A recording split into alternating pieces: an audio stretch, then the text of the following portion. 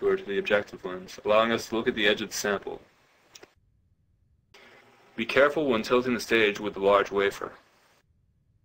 Tilting the stage can crash the sample into the lens. Be sure to lower the stage when tilting a large wafer. The tilting of the sample when the chamber door is open is only for demonstrational purposes only. The stage must be in the loading position when the chamber door is closed. Remember, the exchange position sticker on the right side of the SEM has the venting positions listed on it. After loading a sample, we are ready to close the chamber. Push and hold the chamber door closed and press the evac on button.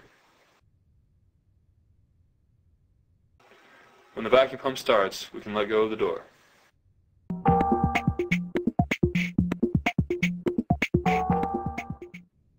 Wait for the chamber to reach operating pressure. We know that it has reached operating pressure when the vacuum bar turns blue and the text box states the high voltage is ready. Check the magnification and turn it to the minimum setting by using the dial on the control box. These icons select our scan speed. The pop-up help box will tell you the results of pressing the button. We want to start in TV1. Go to Operate File and check what the rotation tilt settings are. Make sure that rotation tilt raster rotation is off. We also check image adjust. If the stigmator setting is very far from the center, we click the box in the corner and it will return the setting to the center. These are the best positions when we are beginning a scan. Now we can turn on the high voltage. You should now be able to see an image on the screen. Click on Accelerating Voltage to see the accelerating voltage parameters. Check the AFS, which is Automatic Filament Saturation. This will automatically adjust the filament current to the correct setting. We can also click on one of the automatic buttons, which will automatically tune the image. This should put us close to a good setting.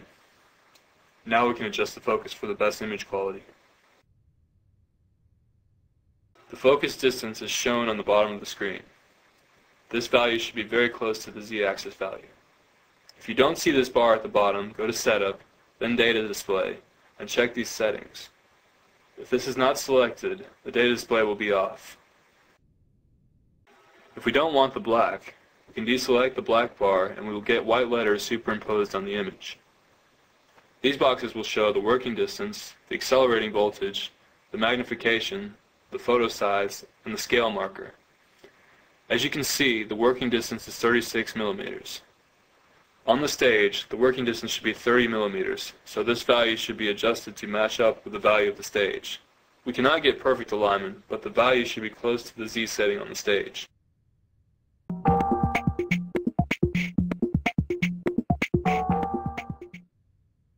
Once the area we want to look at is in the center of the field of view, we can increase the magnification.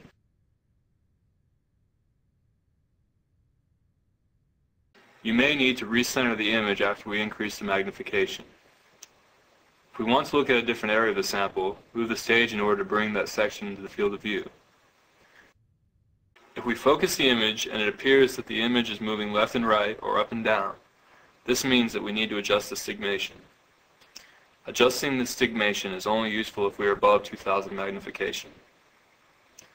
One way to adjust the stigmation is to go to the Operate menu, then go to Alignment, and then go to Stig X.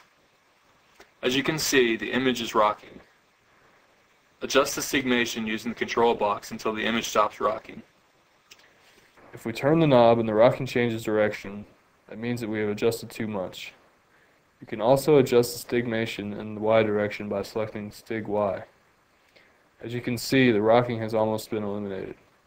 As you can see, the rocking has almost been eliminated. Do not adjust the aperture, the gun shift, or the gun tilt. Changing them can make it impossible to see any image. Now when we focus, we get a very sharp image. We can increase the magnification and still get a clear image even at 20,000 magnification. This shows the capability of the SEM if it is used properly. For most purposes, we use an accelerating voltage of 15 kilovolts. For very high magnification, you can go as high as 20 kilovolts. Do not exceed 20 kilovolts. Doing so can damage the machine. As we can see, the higher accelerating voltage gives us more noise, but also gives us more contrast. This is a magnification of 35,000. If we change back to 15 kilovolts, we have less contrast.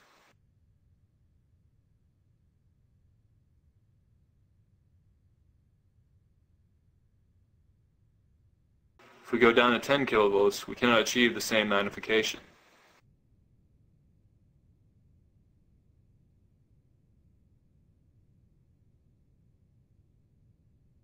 The image is very low in contrast and is also fuzzy. 15 kilovolts is the recommended all-around operating voltage. If you have a material that is an insulator, you will not be able to get a good image even using the conducting carbon tape. This is demonstrated with a small piece of glass You can clearly see the image shifting on the screen. This is because the glass is acquiring a charge and is deflecting the position of the electron beam. The charging can be prevented by coating the sample with a thin layer of gold in the gold sputter coater.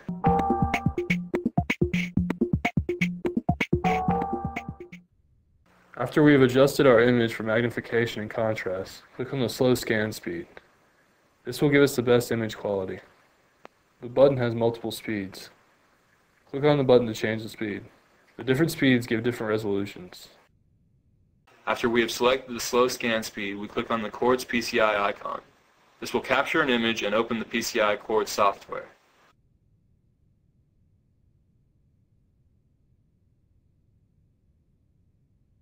We can measure features on the image by using the measuring tool. The first thing we should do is compare the calibration of the measuring tool to the scale by checking the length of the scale. Align the bottom leg of the cursor with one end of the scale. Hold down the left mouse button, and then drag the cursor so that the bottom leg of the cursor is aligned with the other end of the scale. In our case, the Quartz PCI thinks that this distance is 9.78 microns, which is equal to the length of the scale. If you feel this distance is not the correct value, contact MIRC staff for recalibration. We can also draw a line and display the length of the line on the image. If we save the image right now, we will not save the line or the distance. We must click on the overlay menu and click apply to image. This will make the scale line and distance part of the image. When saving, go to File, Save As, and only save on the server Grover. All files on the SEM computer will be periodically deleted. Select the type of file you wish to save it as. JPEG is recommended for small size.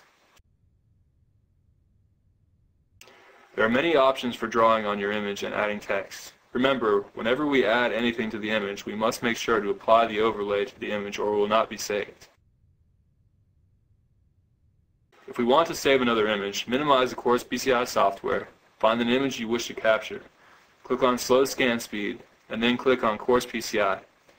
We then need to open the window for the Quartz PCI software.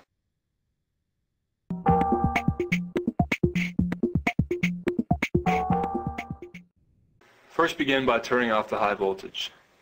Then turn the magnification down all the way by using the dial on the control box. If we have selected raster rotation or any of the other options, we need to turn them off when we are finished. Then return the y-axis to 25, the x-axis to 60, the z-axis to 30 on the black numbers, and the tilt to 0. Bend the chamber the same way in which we did in the beginning of this video. Once you have the chamber door open, carefully remove the sample and stub. Close the chamber door by holding the chamber door closed and pressing the evac on button. When the chamber has pumped down, shut down the Hitachi software. Do not shut down the LUT32 copy application.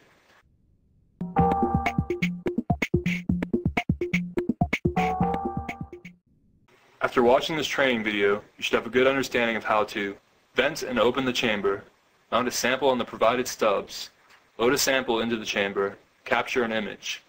If you have any further questions, please direct them to the trainer for this equipment. Please do not direct your questions to Charlie.